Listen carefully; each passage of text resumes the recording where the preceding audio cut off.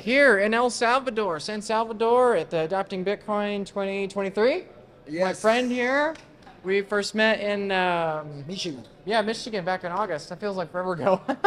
but anyway, um, here we are. So Chimbar, thank you for joining me. Um, you know, I, hopefully people know who you are, what you're doing down here. But I just got to say, as you know, I've told you before, I'm loving it down here. My first few days here, it, it's it's awesome to.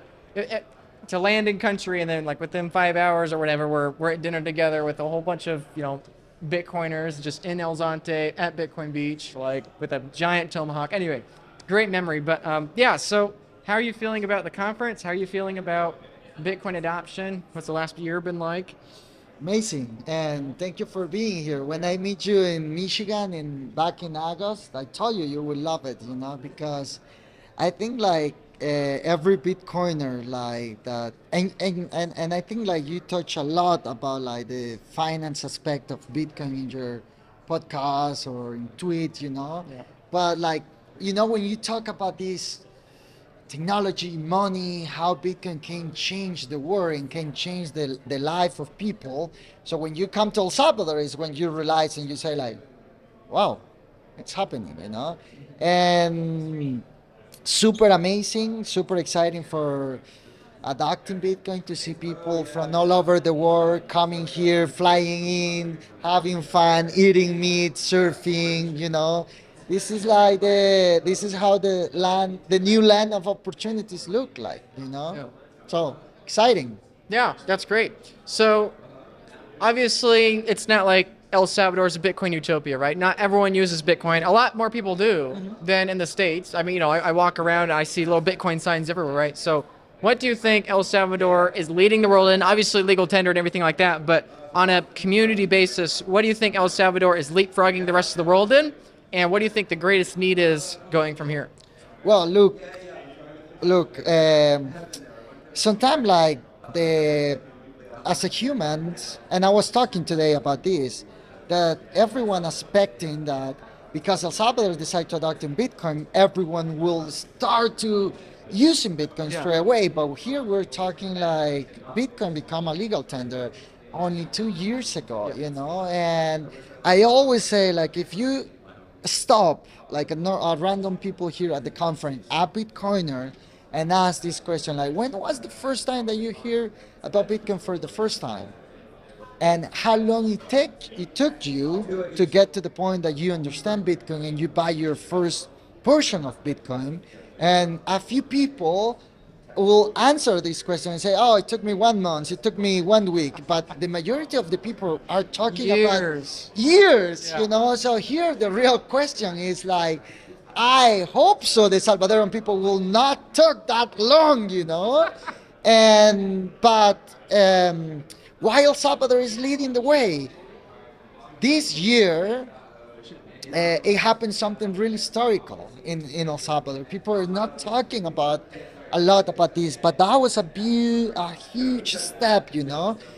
Um, Bitcoin Beach and my first Bitcoin, we partnering with the Minister of Education to do the first pilot.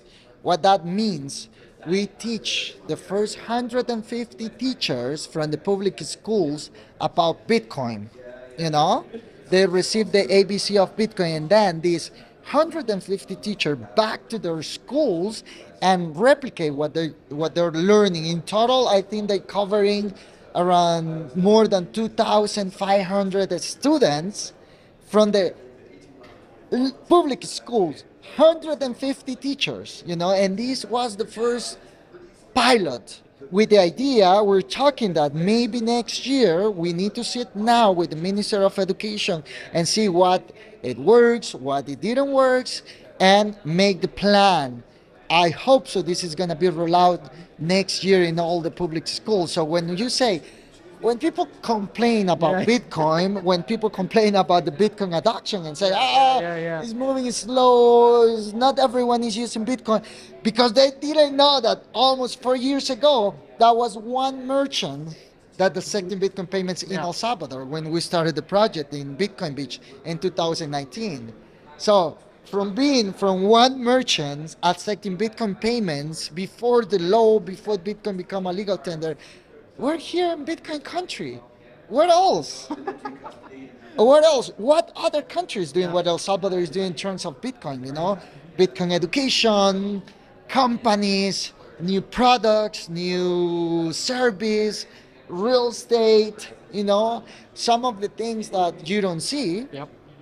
I I have a real estate company, and I meet with people every week that came to El Salvador, and they're looking to buy land here. I, I've, I've met some of them. You know, our our, So- our mutual friend is one of them, right? so those are the things that uh-huh, you don't yeah. see in media Yeah. that Bloomberg doesn't cover, in, right? They're they, just they, they only care about the survey percentages. What does the survey percentage say? You know, and, and I, I I always talk about that with, with everything, right? You know, like inflation rate. It's not the linear amount that matters. It's the exponential trend, right? It's not Exactly. two percent to four percent. Oh, it went up two percent. No, that's a doubling, right? And the same way, going from one merchant to what are we at now? A thousand merchants, more than a thousand merchants. like it's so funny when you see Bloomberg Bloomberg say only 20% of the merchants in El Salvador are accepting Bitcoin payment. 20%. Only twenty percent. 20% in one country in just two years. That's a lot. Tell me another country that is doing better. Yeah. Doesn't exist. Yeah. Here is a dream. I know a lot of Bitcoiners that are living here in El Salvador that are, that are living in the Bitcoin standard. Tell me another place that you can live in the Bitcoin standard. When I say living in the Bitcoin standard, you pay everything with Bitcoin. If you want, you can pay your house, food, electricity bill, phones bill, salaries. It's possible, but like for us in Bitcoin Beach, it took almost three years, three years and a half to Yeah. be where we are.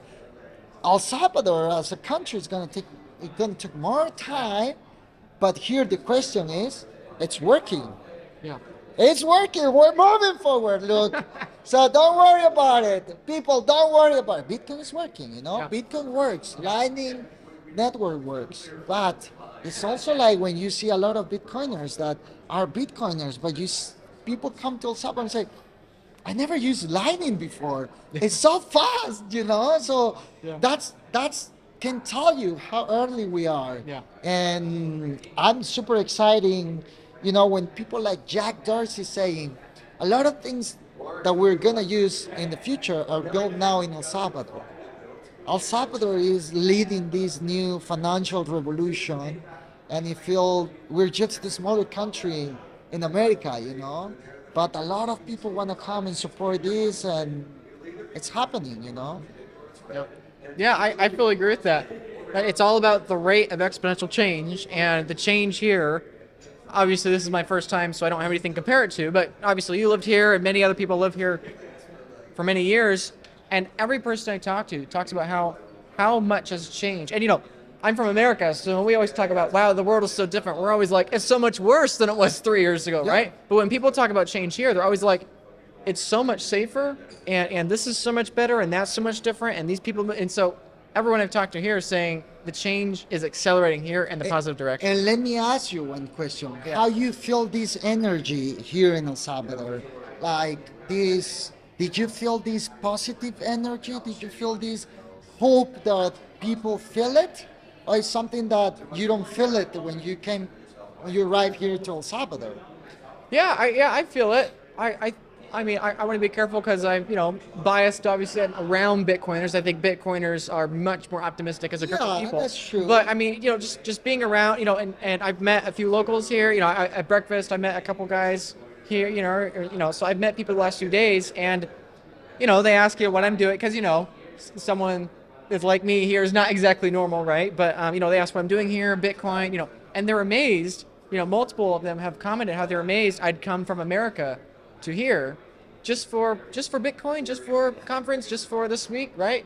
And so I think th- the fact that they're seeing people like me and many other people who are coming here for this and having this passion here is something that fills them with hope. They're like, oh wow, they want to come here. Yeah. And then simultaneously, they're much more curious when it comes to Bitcoin. I've not met anyone. I met a lot of people that are new to Bitcoin, trying to figure it out. I've been bringing people into the conference that are just you know in the lobby or whatever, right? And it's like they're all curious. They want to hear more about it. So I, I think it's definitely a different perspective. And shift. you know, as a Bitcoiner, we have a famous say: don't trust, verify. Yeah. So this is the thi- this is these have to be the message, you know. Don't trust, verify. Come and check, but don't talk to Bitcoiners like you say. Talk to the talk Yeah. to the normal people in El Salvador. Yeah. Come and ask questions how they feel. Yeah. Come and say, hey, did you feel better now in El Salvador? Now we were talking in, in, in a panel where when I was a kid, the dream was to leave the country. Mm. And now we have Ismael that is the next generation after me. And he's like, he just was in the USA working for four months. Yeah. And he's like, I don't want to live there. Yeah. My future is here, you Yeah. know. And when you see the next generation thinking in that way, that prove and show that our country is moving in the right line, you know, because it's not just one person talking about this. It's like Many, many, many. Yeah. so I I the message is like guys, you will hear a lot about El Salvador from many people. A lot of people complain and the media lie, but don't trust, verify, come and check, you know, and then have your own conclusion. Yeah. Yeah, I, I definitely feel that different shift here because I, I, I just talked about this in my in my little presentation I made, but in the past, you know, Americans we make the dollars, you use the dollars, and so the incentive here, even though most people living here couldn't put their finger on it, the incentive is get as close to the money printer as possible, get as close as to the American funnel of currency, and now that there's this Bitcoin thing, oh wait, that's no longer the incentive. And so now they're incentivized to be here. They're incentivized to build for the children and build for the future. So hey, thanks for building. I love it. Uh, everything I do, I love. I would love to think that it's impacting you and your mission, and likewise, you're impacting me and my future And- kids and everything. And so- that's the beauty about Bitcoin. Bitcoin Yeah. is is you know some people are in the front line, some people are in the back in the back end. Yep. But Bitcoin is a collective dream.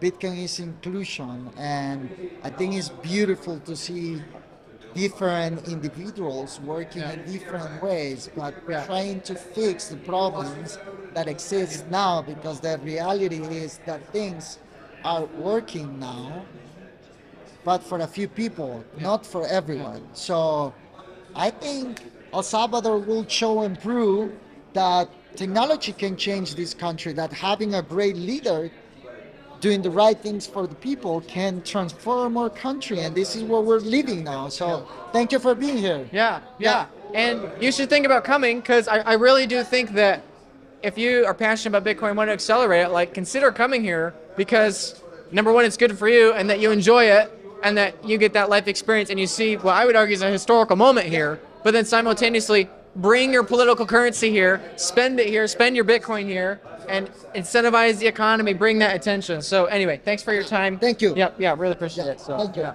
Bitcoin is incredible and it's incredibly important, which is why it means a lot that you're watching this video and you're taking the time. I do this because I believe it is a really, really important innovation that we've discovered a way to not have a single point of failure at global base layer money. See, fiat money, political currency units, and gold, all other forms of money up to this point in history have had a single point of failure. This has been the largest monetary problem in human history for the last 4,000 years. And now we have Bitcoin, and Bitcoin solves that single point of failure problem. And now, therefore, we have a new single point of failure problem, and that is how do we custody and store that Bitcoin properly for the long term in a safe and secure way that brings peace of mind? That's why I work at the Bitcoin Adviser. If you were to be hit by a bus, does your spouse, do your kids, do your loved ones and beneficiaries know how to access your Bitcoin? Do you have a proper self custody storage method to where there is no single point of failure? Not from yourself, not from your seed device, not from where your seed phrase is stored. Have you considered these questions? Have you gotten your UTXOs managed? Do you have jurisdictional arbitrage? Have you considered all the trust, taxes, and estate planning requirements that are associated with becoming a high net worth person? Because if you are buying Bitcoin right now, you are going to become a high net worth person. Are you prepared for the amount of Bitcoin you have to skyrocket in value 2x, 5x, 10x, or 100x eventually? That's the time horizon you should have. And so you need to be preparing today for that future. How are you going to custody your Bitcoin? How are you going to leave that Bitcoin for your future generations? Because after all, that's what we do this for, right? You're buying Bitcoin for your kids, you're buying it for your grandkids. And so I highly recommend you start thinking in those long term time periods now.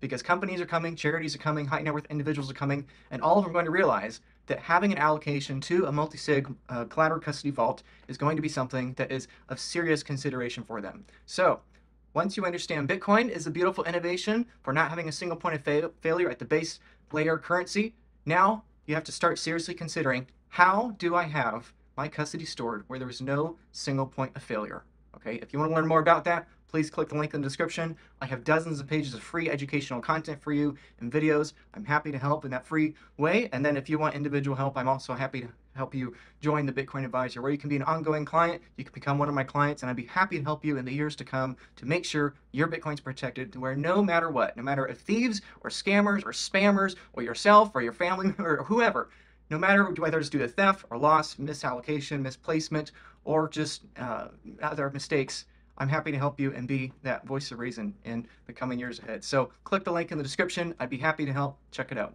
Thanks.